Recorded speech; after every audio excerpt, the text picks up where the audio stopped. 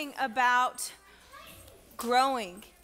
It is time for us to grow. We cannot continue to stay in the same place. Just like a seed has everything that it needs to grow on the inside of it. There was some other videos. I don't know if that one shows it. It's like maybe you can find one, Jaden. It's like they put the seed on the edge of the of the glass with the soil and it's like day one day two day three. And it's like you can see the little bean. I think there's one that's like a sunflower seed. It's similar to that kind of video but it actually shows the seed on the side of the glass. Everything that that plant needs is where? Everything that that plant needs is where? Everything that that plant needs is where in the seed. Who said that? Good job, Liam. Get him a cupcake if you want one. Do you want one? What? Bro, so you don't want a cupcake? You don't have to have one. Use your words. Okay, thank you. Got like a million people talking for you. Bro, he's going to eat the cupcake. Leave him alone. Liam, everything that that's, that plant needs is where? In the seed. It has everything that it needs. Like literally, when you watch this clip, hopefully it's the same one that I've been watching. I think it, it might have been a short, I'm not for sure.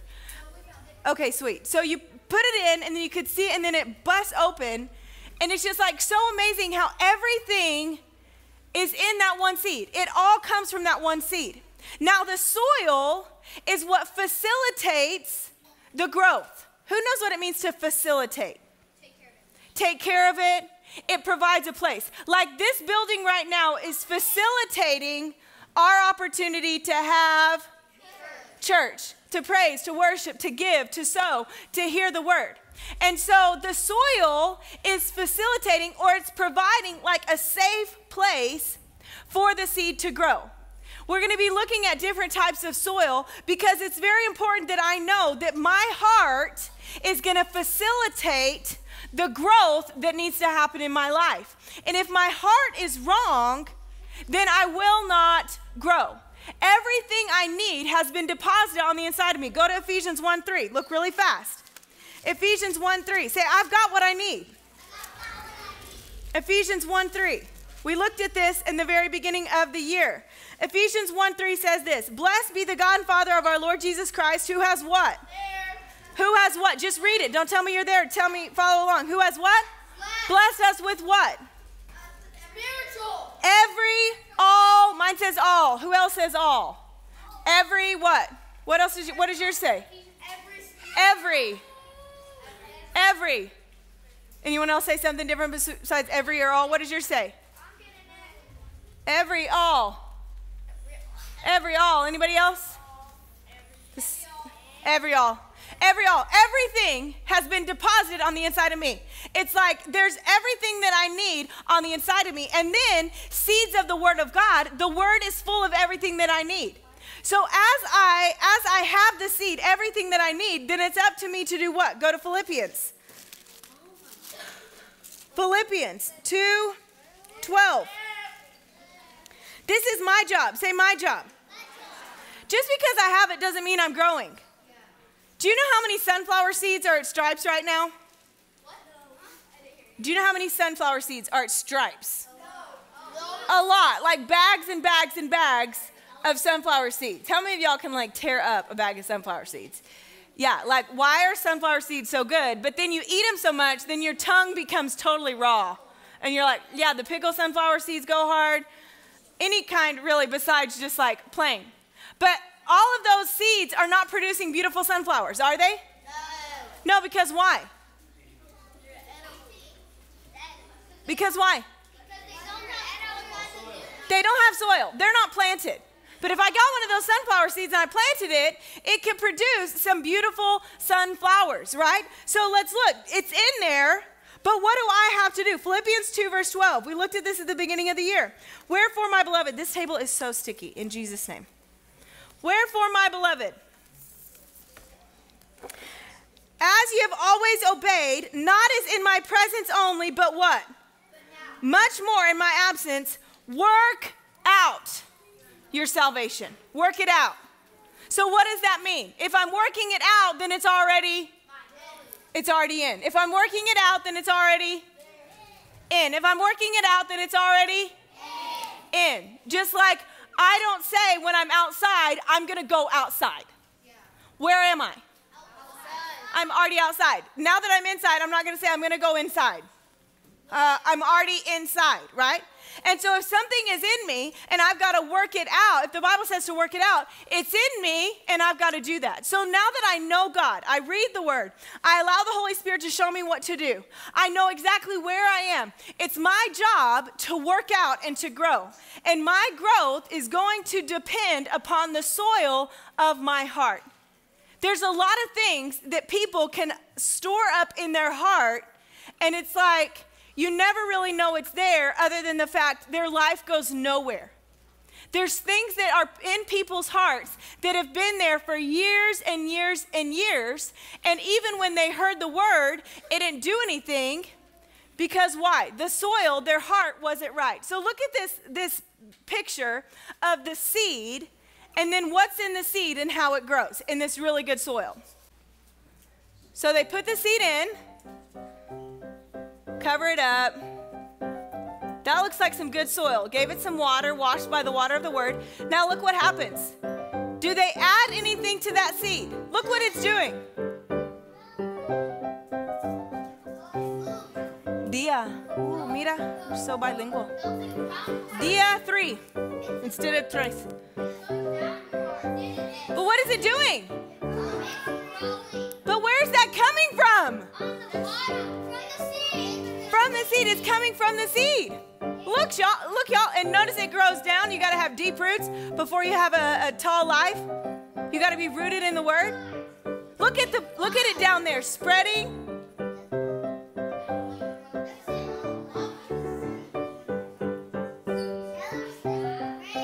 Y'all, look at it. You can still kind of see a picture of the seed.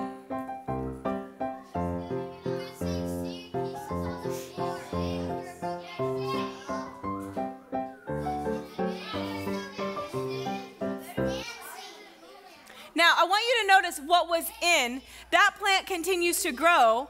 And then what does that plant produce? More what? More seeds.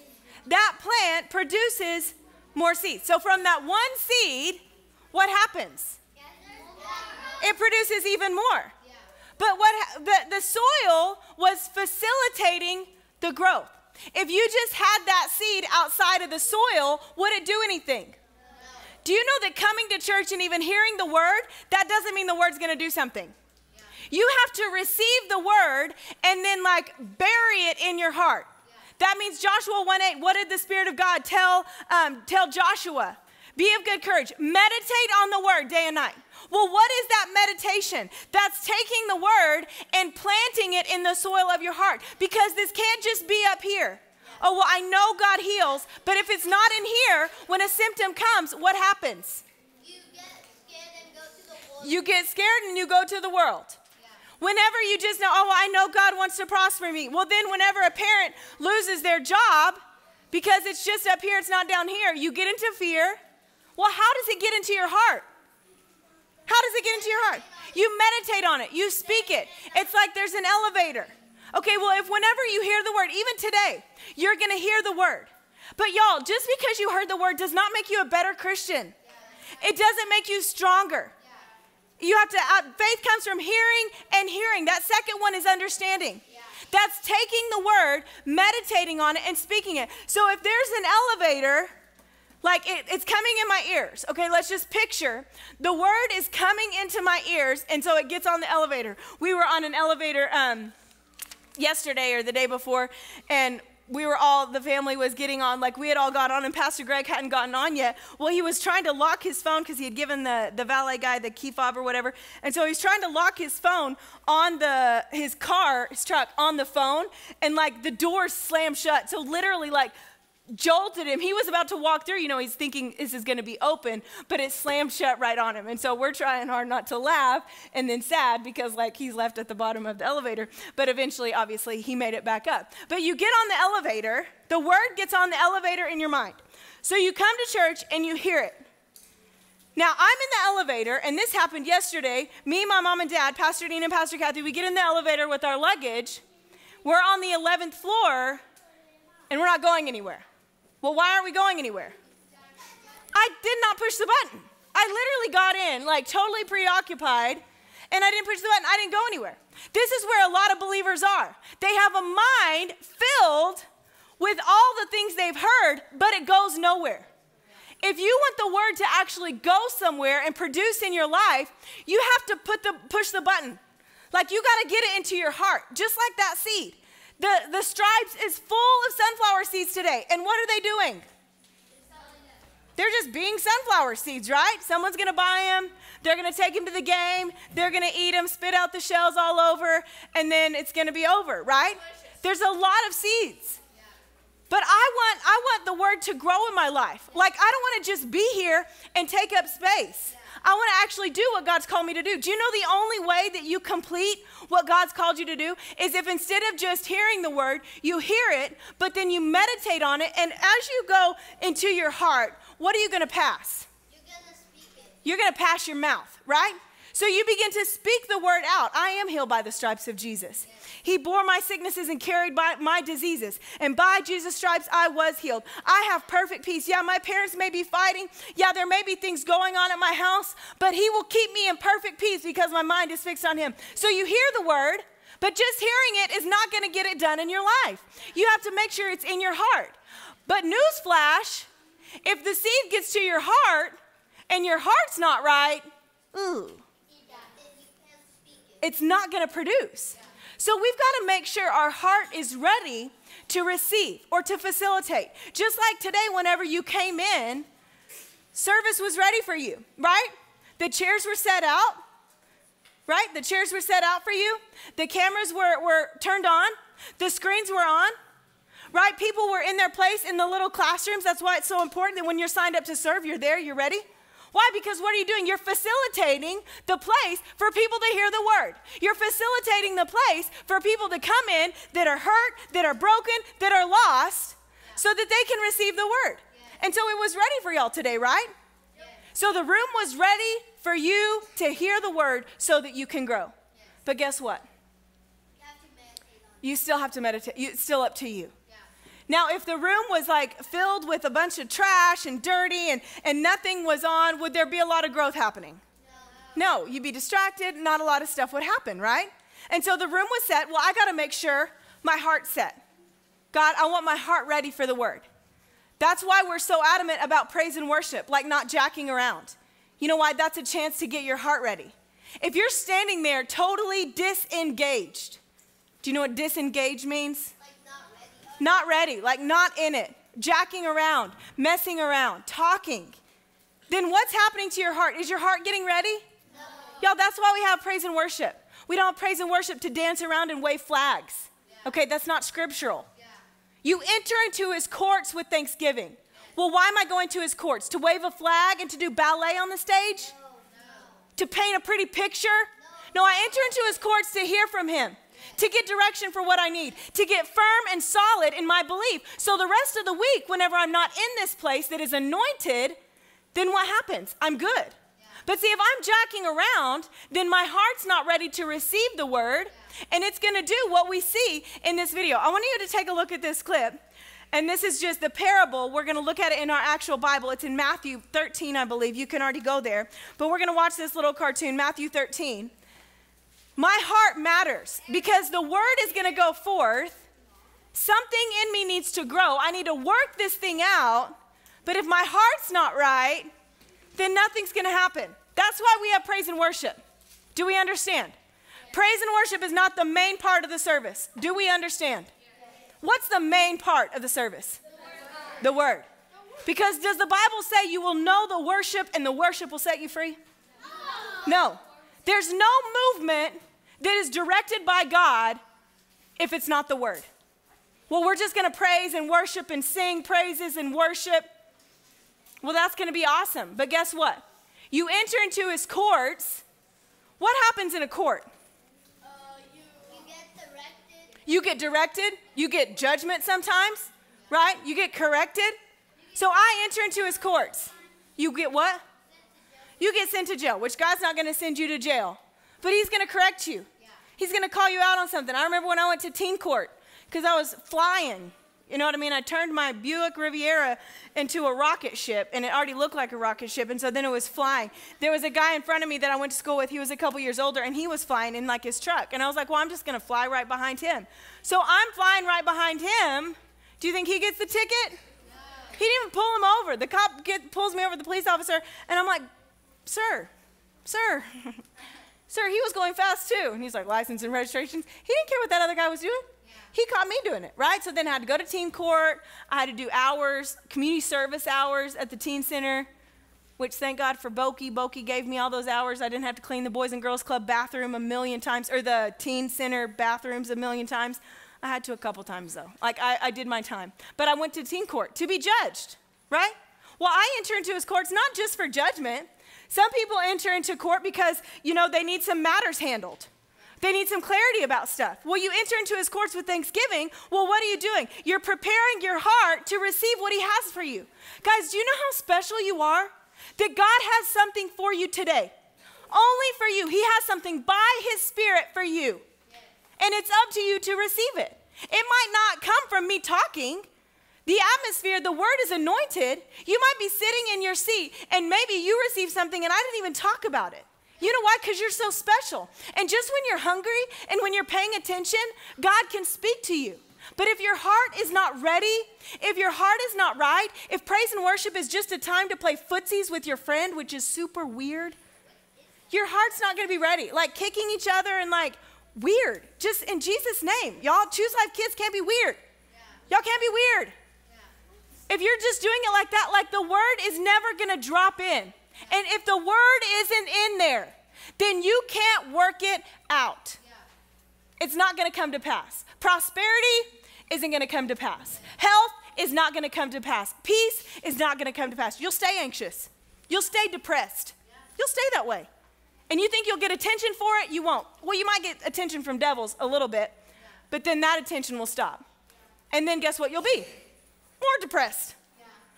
It's just like I have to hear the word and it has to drop into a heart that is ready. And whose job is it to get your heart ready? Mine. Y'all, it's not the pastor's job, it's not your leader's job.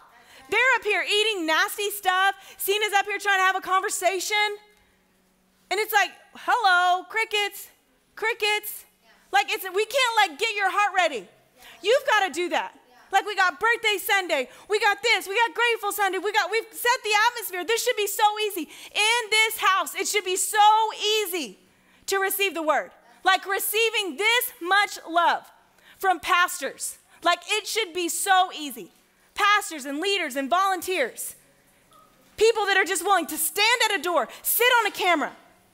It should be so easy to say, oh gosh, I can grow in this place. Like no one's no one's beating me over the head. No one's telling me I'm gonna go to hell. Yeah. Like actually they love me and they celebrated my birthday. Yeah. And then they said they were grateful for me on that day. And then on the next day they just gave us candy. Like for no reason they just gave us candy. And then the next day they gave us a book that we could read that was like $5 just for fun to grow. Yeah. It's like this should be so easy. But guess what? If your heart's not right, you can be in the best place in the world and you still stay the same. Yeah. Like a seed can produce a beautiful sunflower yeah. and it has potential to do it. But if the soil's not right, it's not, not going to do it. It's not going to do it. And your heart is up to you. So let's take a look at this parable and then we're going to break it down really fast. Stories of the Bible. The parable of the farmer. This is Jesus. Heyo! Who is the Son of God and the Savior of the world. While Jesus was on earth, he taught everyone about God's love. He healed many people from their sickness, performed many miracles like calming storms, and even raised people from the dead. Uh, wahoo! One day, Jesus went and sat beside the sea. A great crowd gathered around him. Oh, hey everyone. So he got in a boat and told them many things in parables. Okay, listen to this. He told them this story. A farmer went out to plant some seed. As he scattered it across his field, some of the seed fell on a footpath where it was stepped on, and the birds came and ate it. Other seed fell on shallow soil among rocks. The seed began to grow quickly because the soil was shallow, but the plant soon wilted under the hot sun, and since it didn't have deep roots, it died. Other seed fell among thorns that grew up and choked out the tender plants. Still, other seed fell on fertile soil. This seed grew and produced a crop that was a hundred times as much as had been planted. When Jesus had said this, he called out, Anyone with ears to hear should listen and understand.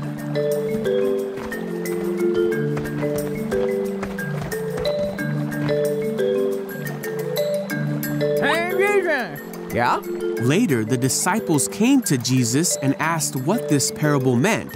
Jesus said, The farmer plants seed by taking God's word to others. The seed that fell on the footpath represents those who hear the message, only to have Satan come at once and take it away. The seed on the rocky soil represents those who hear the message and immediately receive it with joy. But since they don't have deep roots, they don't last long. They fall away as soon as they have problems or are treated badly for believing God's word. The seed that fell among the thorns represents others who hear God's word, but all too quickly the message is crowded out by the worries of this life and the desire for other things. And the seed that fell on good soil represents those who hear and accept God's word and produce a harvest of 30, 60, or even a hundred times as much as had been planted.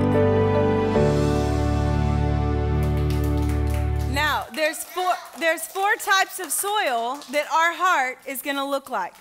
The first one falls on the wayside. Look what it says in Matthew 13, 18. It says, the one, verse 19, I apologize. They hear the word, but they don't understand it. Whose job is it to understand the word? It's our job, right? If I don't understand the word, then it means I need to study and you just keep coming to church. You keep hearing the word. You listen to messages. Because if I just hear it but I don't understand it, it doesn't drop down, then it's not going to produce. What does the enemy do? He comes immediately to what? To steal the word. Like he steals the word. And so it produces nothing. So we've got that kind of soil. And then the second soil was what? The stony ground. He receives the word on stony places, he hears it and receives it with joy, but he has no root in himself. He has no roots, but endures only for a while, like a hype beast. Like you jump on the train when everyone else is jumping on the train, instead of just staying on the train. Like in the Grinch, the J train has left the station. Like the train is going, and it's up to me to get on and then what? Stay on. Stay on. Thank you, Araya. I got to get on and I got to stay on. But if my heart is stony, and I put it this way stony is like anger, unforgiveness. If I allow these things in my heart, then what happens? I may be excited in church, but then I remember what so and so did. Oh, I may be excited and oh, yes, praise the Lord. But then I remember that I was mad at this person or, or this happened to me and then this happened to me. And then we go through the list of all the bad things that have happened to us. And then that produces stones. So does the word produce in stony hearts? No. no. And then what was the third one? Thorns. Look what it says. Verse 22. He who received the seed among the thorns is he who hears the word. Notice what all these people are doing. What are they all doing? They're all hearing the word. They're all hearing it. Do you know that only 20% of you will actually be good soil? That's what the statistic of the Bible says 20%. 20% of you will actually be those that hear the word, receive it, work it out in your life and, and produce fruit and do it. 20%. What would be 20% of the room, Craig? Can you do the math on that? I just am not good at math. 20% of the room. 20% will do it. Look at this third one. It says this the, the seed falls on thorns. They hear the word, and the cares of this world and the deceitfulness of riches choke the word, and he becomes unfruitful or just distracted. You hear it, but you're distracted. You're distracted by what's going on. You're distracted by your own feelings. You're distracted by your own thoughts. You're distracted by what others are doing. There's just distraction. Well, what is that? What is that? If I allow distractions, then the word's not going to produce. And whose job is it to grow? Y'all, it's your job. So 20%. Do we have it? 12 people. Okay, so let's just have 12 people stand up. You four girls in the front row? Bella, Zaylin, Micaiah, Creed, Liam, Caden, Ellis. One, two, three. Zeke, stand up. Chance, sit down. One, two, three, four, five, six, seven, eight, nine, 10, 11, 12. Ooh, good job. 12. 12. 12 people out of all of you that heard the same word. This is what the scripture says 12 will actually grow. Now, does that have to be our, our Choose Life kids? No. No. But guess what? It will be. It will be if each of us don't decide. I'm not just going to hear the word and then allow unforgiveness, allow sin, allow distractions to keep me from growing. Because it's not the pastor's job that I grow. Yeah, that's right. It's not even the pastor's job that I understand. Yeah. I'm going to break it down in the best way I can. I'm going to show you little cartoons so your little brain can get it. But it's up to you to continue hearing it over and over and over again. What do you do if you fail a grade? You redo it. You redo it. Some of y'all doing paces. If you fail, do they just say, oh, that's okay, you can move on? No, you can redo it. But in the world, that's what they say no child left behind, just promote them. And then we have like young adults who can't even read and write. All because they just said, You're okay, you can go. Well, now we've got like 20 year olds that are like, No sense, don't know anything. That's not how the Bible works. If you don't get it, then guess what? You got to look over it and look over it and look over it. And then once you get it, then guess what? There's something else to do. So you 12 represent the 20%, the good ground. Look what it says about the good ground. But he who received the seed on the good ground is he who hears the word, understands it, bears fruit, and produces a hundredfold, 60 or 30 fold. You produce. Like there's multiplication in your life. And don't you want to multiply stuff in the kingdom? People in the world do crazy stuff to get more money, to get this or that. All you have to do is hear the word and do the word. Hear the word and do the word. And your life will be something that no one else would ever be able to say, oh, yeah, that was Liam. They would have to say, that's God. And then you're able to give God glory. But I believe that Choose Life Kids, you can have a seat, you 12. Choose Life Kids will not allow their hearts to be hard with sin, to be hard with anger and unforgiveness, to be hard with distractions, thorny, just distracted. You hear the word, and then the moment someone says something to you, you blow up, you go off. You hear the word, honor your parents, but then the moment they say something to you in a way you don't like, you disrespect them. That's thorny, that's distracted. What other people do and how they treat me, I don't care. I'm gonna honor the word. That's a good heart, that's good soil. So if I'm gonna grow, the soil of my heart has to be right. Let's look at these things really quick. We're just gonna put them on the screen. If there's sin in my heart, and you're gonna ask yourself, what's going on in my heart? If there's sin in my heart, what do I do? 1 John 1 9. Let's read it together. Ready? One, two, three, read. If we confess our sins, He is faithful and just to forgive us of our sins, to cleanse us from all unrighteousness. If there's sin in my heart, you need to ask the Holy Spirit right now Is there sin in my heart? Are there things I need to confess? Well, what about um, anger?